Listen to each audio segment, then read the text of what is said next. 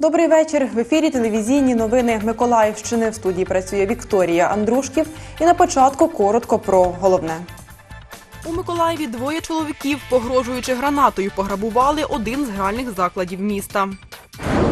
В Миколаївській обласній бібліотеці для дітей імені Віктора Лягіна презентували книгу Авдіївка. Шлях до перемоги. Футболісти футбольного клубу Миколаїв розпочали підготовку до зимового турніру Кубок мера Миколаєва під керівництвом нового головного тренера. Протягом випуску на екрані ви бачитимете нашу електронну адресу, за якою можете надсилати листи до редакції. Також вказані посилання на Ютуб канал та сторінку в мережі Фейсбук. У Миколаєві двоє чоловіків, погрожуючи гранатою, пограбували один з гральних закладів міста. Пограбування сталося вчора ввечері в корабельному районі на розі проспекту Богоявленського та вулиці Металургів. Двоє чоловіків у балаклавах зайшли до грального закладу. Погрожуючи гранатою, змусили працівника закладу лягти на підлогу. В цей час забрали гроші і втекли. Сергій, чоловік, якому погрожували гранатою. Говорити прізвище та показувати обличчя на камеру відмовився. Розповів про події минулого вечора. Спочатку подумав, що це друзі вирішили так пожартувати. Зайшли люди. Одного в руки була граната. Я так і не зрозумів, що- він казав, але другий забіжав, мене вдарив. Я, ну, я подумав, що друзі просто пошутили. Я почав виходити з, з моєї каси, і в мене ударили. І от тоді я зрозумів, що це не, не воно, не друзі. Я впав, в мене ударили, і, і от пішло. Чоловік викликав поліцію. Забрали з каси 3 тисячі гривень. Наразі порушено кримінальне провадження за частиною 3 статті 187 Кримінального кодексу України розбій, що передбачає покарання у вигляді позбавлення волі на строк від 7 до 12 років. Правоохоронці розшукують е, чоловіків та звертаються до громадян із проханням е, до тих, хто володіє будь-якою інформацією корисною для слідства, звертатися за номером телефону 102. Світлана Кльосова, Ігор Чорний, телевізійні новини Миколаївщини. Книгу Авдіївка Шлях до перемоги презентували в Миколаївській обласній бібліотеці для дітей імені Віктора Лягіна. Спілкуватися з присутніми приїхала одна з е, співавторів видання Аліна Косовська. Авдіївка шлях до перемоги. Це збірка спогадів та розповідей різних людей. Серед них жителі Авдіївки, військові, які боронили кордони України на сході. П'ять авторів працювали над книгою півроку. Це збірка розповідей людей. е, Там немає жодного художнього домислу, хоча ми писали в такому художньому форматі, щоб воно читалось легко, а не як підручник з історії.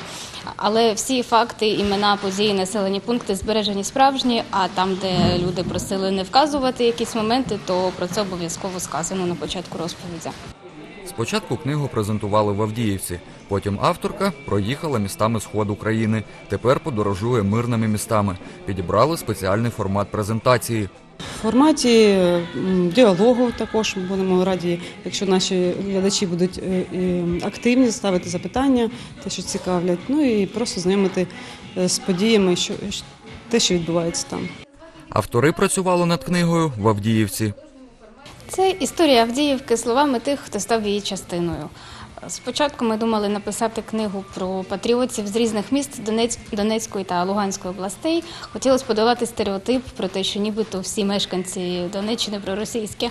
А потім вирішили на прикладі нашого міста, команда, яка починала роботу, це саме мешканці Авдіївки, написати, як все відбувається насправді, бо наше місто теж пережило багато важких подій.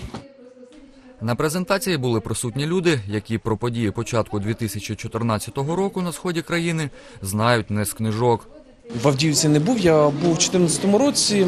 Ми на 537-х мазах. Це великі такі тягачі, які тягають техніку там від танків до броньованої артилерії. І ми по всій по всій Луганській Донецькій області, в принципі, проїздили за свої 8 місяців, що ми там були.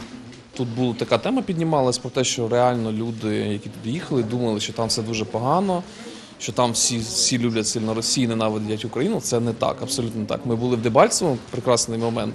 Приходить хлопчина маленький, каже, мати передала вам 3 літри молока. І ми в шоці. Бажаючі мали змогу придбати книгу ціна 100 гривень. Відкладаючи її собівартість, решту коштів автори збирають на безпілотний літальний апарат для добровольчого батальйону аеророзвідки.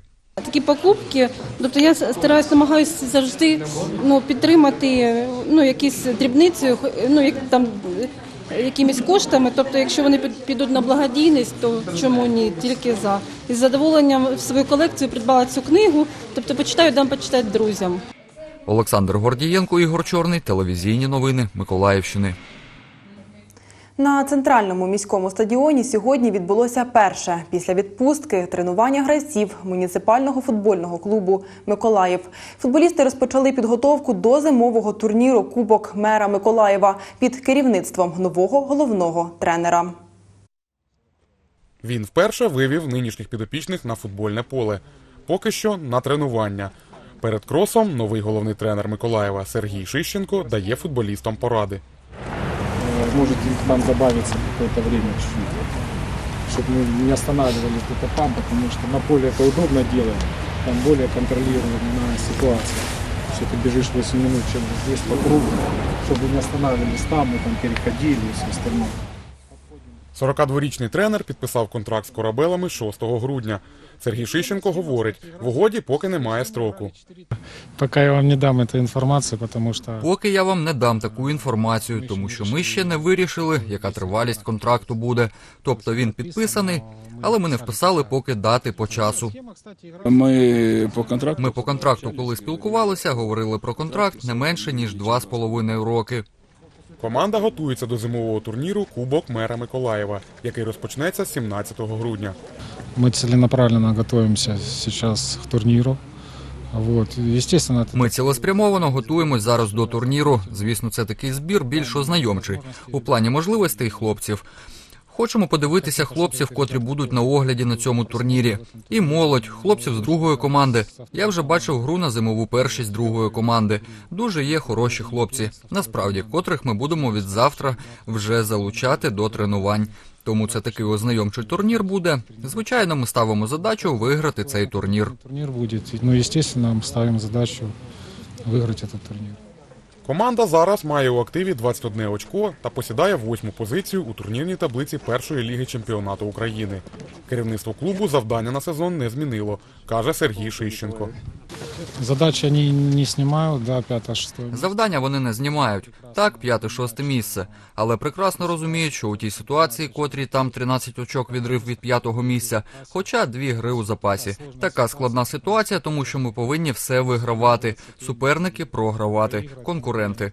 Тому складна ситуація. Але завдання ніхто не знімає. Найголовніше завдання побудувати колектив, побудувати команду, залучати у філософію клубу, залучати молодь. Після Кубка мера Миколаєва підопічні Шищенка підуть на святковий відпочинок. Далі футболісти продовжуватимуть підготовку до другої частини сезону. Володимир Степанов, Ігор Чорний, телевізійні новини Миколаївщини. Слідкуйте за нашими новинами у соціальній мережі Фейсбук, сторінка телеканал Миколаїв на Ютуб каналі та слухайте на хвилях українського радіо Миколаїв. Частота 92 FM. Ми з вами зустрінемось у цій студії вже о 19.00. Мирного вечора. Побачимось.